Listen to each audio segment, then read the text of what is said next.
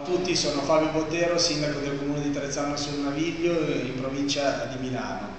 Eh, con piacere eh, ho conosciuto la storia di eh, Emanuele Ghidini che mi ha colpito subito fin dal primo momento in cui me l'hanno raccontata e altrettanto eh, mi ha colpito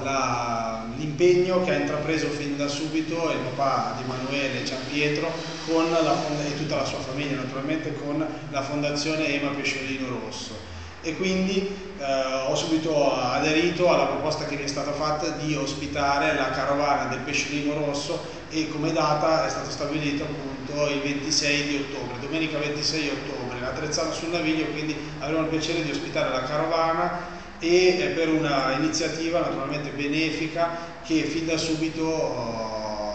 vogliamo divulgare al massimo per poter raccogliere eh, fondi per sostenere l'attività della fondazione.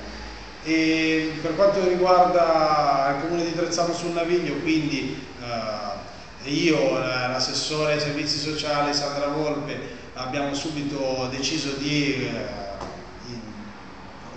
invogliare i ragazzi di Trezzano sul Naviglio a partecipare e nello stesso tempo uh, chiediamo che la carovana possa proseguire naturalmente come poi l'intento degli organizzatori. Gli organizzatori che mi piace ricordare qui che oltre a Gianpietro Ghidini sono Giancarlo Prandelli e Mauri Povia. E in questo senso uh, invito un sindaco di un comune